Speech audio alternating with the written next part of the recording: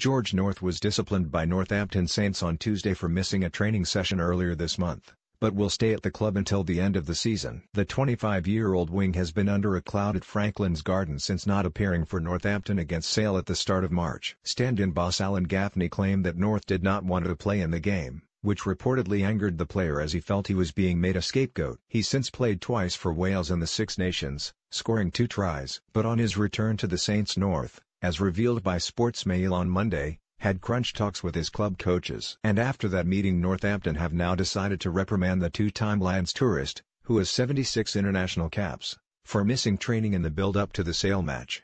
George, Alan Gaffney, Alan Dickens and myself had a set of constructive meetings on his return to the club on Monday, said Saints chief executive Mark Darbin. George accepts the disciplinary action we have taken. George has enormous affection for this club and its supporters, and is fully committed to helping the club finish the Aviva Premiership season as strongly as possible. We now consider this matter resolved and won't be commenting further. North will now not leave the club early, he is now available for selection for Saturday's match at St James Park against Newcastle as well as the four other remaining matches this term. He will then depart and return to Wales at the end of his contract in May.